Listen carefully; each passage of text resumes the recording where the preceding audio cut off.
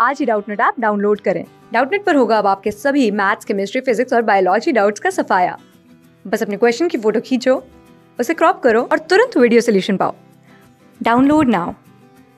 Hello students, let's start the question. Question here is based on the fill up जहाँ पे दिया गया है body cavity with blood found in arthropods and mollusk is इस statement में हमें यहाँ पे पूछा जा रहा है कि जो आर्थोपोड्स और मलस्क हैं उनमें जो बॉडी कैविटी होती है that is filled with blood उसे हम क्या कहते हैं ओके okay, तो यहाँ पे हम जो है बात कर रहे हैं आर्थोपोड्स और मलस के कंसर्न में तो इनमें जो बॉडी कैविटी होती है उसे हम हेमोसील कहते हैं।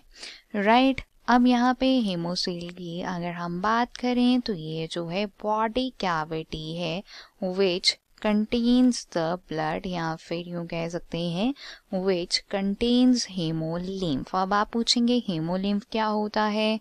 तो हेमोलिम्फ के कंसर्न में हम यहाँ पे बात करेंगे कॉकरोच की।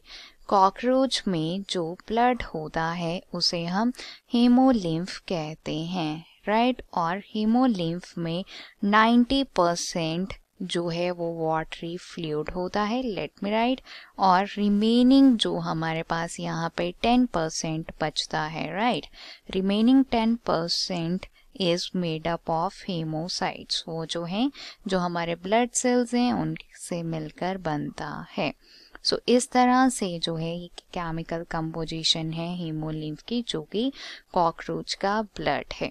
अब यहाँ पे ये बॉडी कैविटी है जिसमें ब्लड या हेमोलिम्फ है और ये जो है यहाँ पे फ़ंक्शन करता है as the part of circulatory system right so in this manner इस वीडियो में हमने डिस्कस किया है अबाउट द बॉडी कैविटी जो कि पाई जाती है आर्थोपोड्स और मलस्क में। राइट सो फिलअप जो है वो हमारा यहाँ पे है हेमोसी क्लास सिक्स से ट्वेल्थ से लेके NEET I I T JEE Mains और एडवांस के लेवल तक।